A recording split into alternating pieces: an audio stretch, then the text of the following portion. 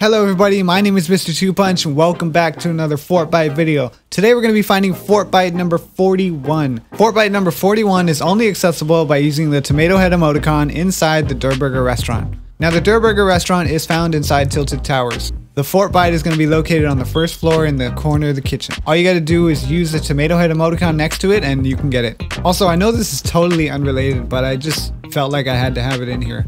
So I heard this strange bouncing noise inside the restaurant and it's coming from this TV with a little llama on it and the llama's just bouncing up and down. I don't know exactly what this means. It could be like something for an event or I don't know. So I'm, I'm just guessing so I'm not entirely sure but if you guys know let me know in the comments below because I would really like to know more about this. And maybe it's leading up to an event. I have no idea but hopefully it does.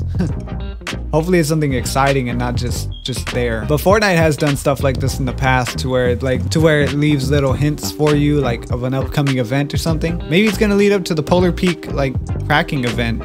Uh, let me let me know in the comments below what you guys think. But anyways, if this video helped you out, make sure you leave a like on the video and comment how many Fortbytes you have right now. And don't forget to subscribe and hit that bell icon so you get notified about these types of videos. Thank you everybody so much for watching. This has been Mr. TwoPunch and I will see you in the next one. Peace.